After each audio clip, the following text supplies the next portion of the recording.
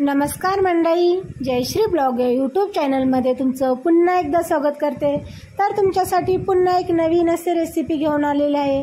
तर आज आपण कारल्याची एक आगळी वेगळी भाजी बनवणार आहे.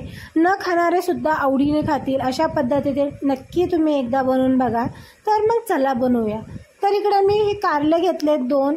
त्याला आणि तसेच मी इकडे हिरव्या मिरच्या घेतल्यात आणि तीन लिंब घेतलेले आहेत. तर आता आपण याला कारल्याला चिरून घेऊया आणि मिरच्या पण तोडून घ्यायच्या आणि लिंबे पण बारीक असे कट करून घ्यायचे. तर इकडे मी तुम्ही बघू शकता पण सर्व हे धुवून स्वच्छ कट करून घ्यायचं आहे. तर इकडं मी कारले चिरून घेतलेत. अशा प्रकारे त्याचे चार काप केलेले आहेत आणि त्याला मिठाच्या पाण्यामध्ये ठेवून दिले त्याला आता आपण अर्धा तास असंच मिठाच्या पाण्यामध्ये ठेवून द्यायचं. त्याच्यामुळे त्याचा जो कडवटपणा असतो तर तो पूर्ण कमी होतो. तसंच इकडे हिरव्या मिरच्या मी मोडून घेतलेल्या आहेत. देठा सकट घेतल्या आहेत आणि तसंच इकडे लिंबाचे मी छोटे काप केलेले आहेत. तर ह्याला आता आपण साईडला ठेवून देऊया. तर इकडे एक मसाला बनवून घेऊया आपण. तर इकडे मी ह्याच्यामध्ये धने आधी बारीक केले होते तर तोच मिक्सरचं भांडं घेतलं आहे त्यामध्ये तसेच आपण कोथिंबीर थोडंसं खोबरं आणि लसणाच्या पाकळ्या घालून घेऊया. आणि त्याला बारीक असं कट क वाटून घेऊया. तर इकडे मी वाटून घेतलेलं आहे. आता अर्धा तास झालेला आहे तर मी इकडे कारलं साईडला एका प्लेटमध्ये काढून घेतलं आहे पाण्यातून. आता आपण त्यामध्ये भरण्यासाठी एक इकडे मसाला बनवूया. तर इकडे दोन चम्मच मी धने पावडर घेतले तसंच तीन चम्मच शेंगदाण्याचा कूट अर्धा चम्मच लाल तिखट तसंच अर्धा चम्मच गरम मसाला थोडीशी हळद आणि यामध्ये आता आपण थोडंसं घालणार आहे तेल. आणि त्याला व्यवस्थित मिक्स करून घेऊया. तर इकडे मी एका साईडलाच घेतलं आहे ते मसाला बनवायला. तर इकडे मी व्यवस्थित मिक्स करून घेतलेला आहे. आणि आत्ता आपण यामध्ये घालूया चवीनुसार मीठ. आणि त्यालाही व्यवस्थित मिक्स करून घेऊया. आणि इकडे आपला मसाला रेडी झालेला आहे. तर याला आता आपण कारल्यामध्ये मस्त असा दाबून असा भरूया. तर इकडे तुम्ही बघू शकता अशा प्रकारे इकडे मी भरून घेतलेला आहे. तर अशा प्रकारे सर्व कारल्यामध्ये भरून घेऊया. तर इकडे मी सर्व कारल्यामध्ये भरून घेतलेलं आहे.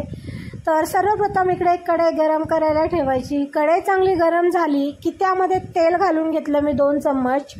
तेल चांगलं गरम झालं की अर्धा चम्मच जिरे आणि अर्धा चम्मच मोहरी घालायची. मोहरी आणि जिरे चांगले तडतडले की जे आपण हिरवं वाटण रेडी करून ठेवलं होतं कांदा लसूण सॉरी लसूण खोबरं आणि कोथिंबीरचं तर ते घालून घ्यायचं आणि त्यालाही चांगलं परतून घ्यायचं. वाटण चांगलं परतलं की त्यामध्ये लिंबाच्या ज्या फोडी आहेत आणि मिरच्याचे काप तर ते घालून घ्यायचं आणि त्यालाही चांगलं परतून घ्यायचं. तसंच यामध्ये आता आपण घालणार आहे थोडंसं मीठ. जेवढं लिंबासाठी आणि मिरचीसाठी लागेल त्याच्यासाठी तेवढंच मीठ घालायचं. जास्त मीठ घालायचं नाही आहे तर इकडे मी थोडंसं मीठ घालून घेतलं आहे आणि दोन ते तीन मिनटं चांगलं लिंबू नरम पडेपर्यंत आपण याला परतून घ्यायचं. तर इकडे मी चांगलं परतून घेतलेलं आहे याला. आत्ता आपण यामध्ये घालून घेणार आहे जे कारले आपण भरून ठेवले होते. तर ते घालून घेऊया. तर इकडे मी सर्व कारले घालून घेतलेले आहेत आणि आता आपण याला याच्यामध्ये मिक्स करून घेऊया.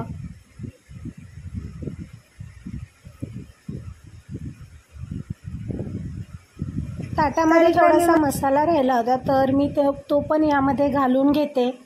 आणि यामध्ये आपण पाण्याचा वापर काही जास्त करणार नाही फक्त मी दोन चम्मच यामध्ये पाणी घालते. पाणी नाही घातलं तरी चालेल.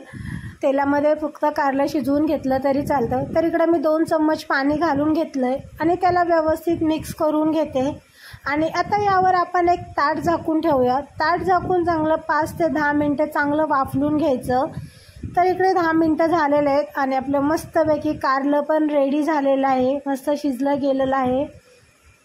तर तुम्ही बघू शकता मस्तपैकी आपलं कारलं रेडी झालं आहे आणि तुम्ही हे कारलं आठ ते दहा दिवस मस्त असं राहू शकतं म्हणजे ठेवू शकता. आणि खायला पण खूप छान अशी टेस्ट लागते.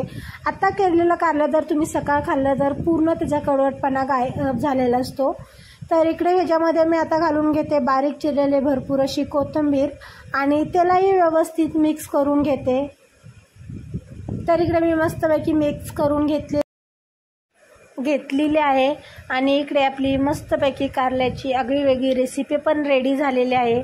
तर तिला मी एका प्लेटमध्ये इकडे काढून घेते. तर ही भाजी आहे ती आम्ही लहान होतो तेव्हा माझी मम्मी बनवायची ह्या पद्धतीने. तर कशी झाले हे मला नक्की कमेंटमध्ये सांगा आणि तुम्ही पण बनवून बघा. आणि व्हिडिओ आवडल्यास लाईक करा शेअर करा आणि चॅनलला सबस्क्राईब करायला विसरू नका. असे चॅनलशी कनेक्ट राहा खूप सारं प्रेम द्या खूप सारे आशीर्वाद द्या. भेटूया नेक्स्ट ब्लॉगमध्ये धन्यवाद.